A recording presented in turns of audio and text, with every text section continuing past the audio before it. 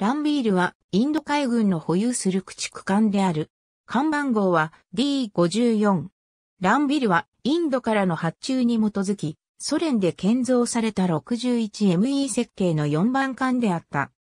工場番号2204艦は、1981年10月24日に、ウクライナソビエト社会主義共和国ニコラーエフの61人のコミューン参加者記念工場で、寄港、1983年3月12日に浸水した。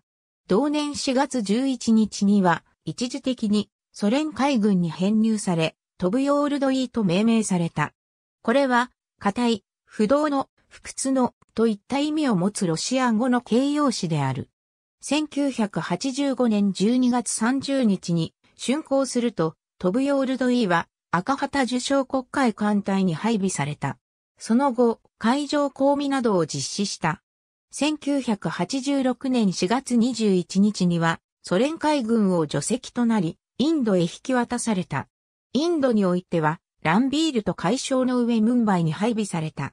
本艦と5番艦ランビジャイは、新造時よりガトリング機関砲 AK-630 と MR-123 管制レーダーを装備した。収益後4機の AK-630 のうち2機を撤去、後にバラクの VLS を各2機、計4機を装備した。